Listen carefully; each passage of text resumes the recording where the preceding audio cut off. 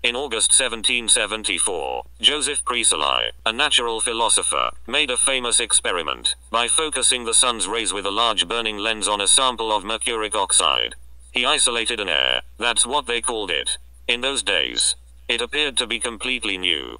In his testing the gas, he found that it was five or six times better than common air, for the purpose of respiration, inflammation.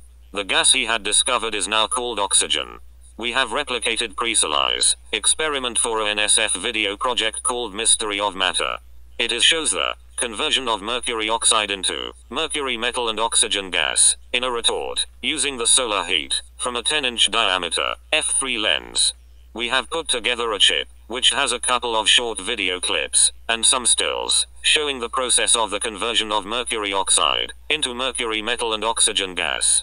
The clip has a total of about 5 minutes containing about five individual episodes, about a minute each to choose from.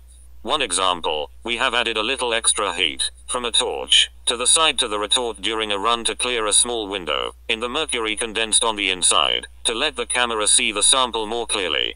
Each episode such as this, can be substantially altered, made shorter, be pieced together. If more episodes are needed, we have gigabytes of data, collected over the last year, plus, for one to sift through.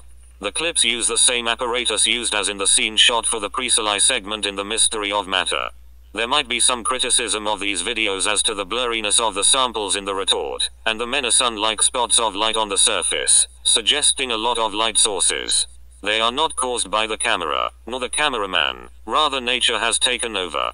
The image or replica of the sun, on the sample, is delivered by the big lens, and viewed through the retort and the camera and one's eye. The retort creates many effects on the image, from the natural optical irregularities and repeated internal reflections, caused by optical imperfections and internal reflections of the spherical shape of, of the glass in the retort. They can cause some defects on the image that might seem unacceptable to some. They also could be very expensive to cure and lose some of the naturalness of the experiment. There really is only one source of light and heat the sun which is at about 40 degrees off the horizon. Good luck.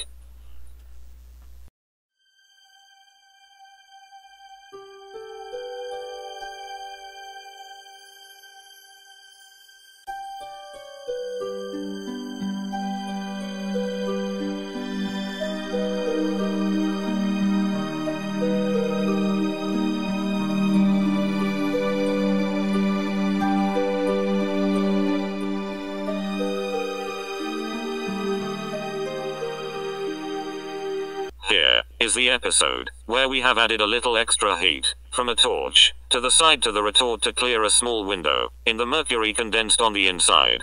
This to let the camera see the sample more clearly.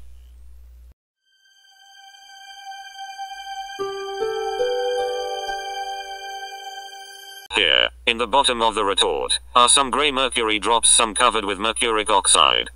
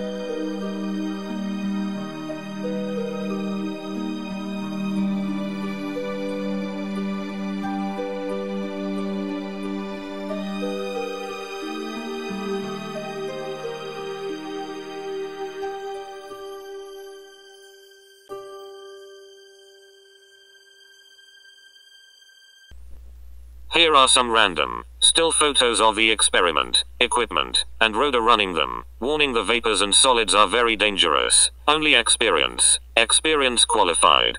Technical, people should be running, handling, and discarding the material.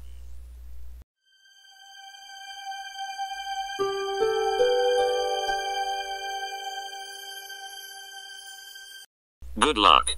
Jim and Rhoda Morris.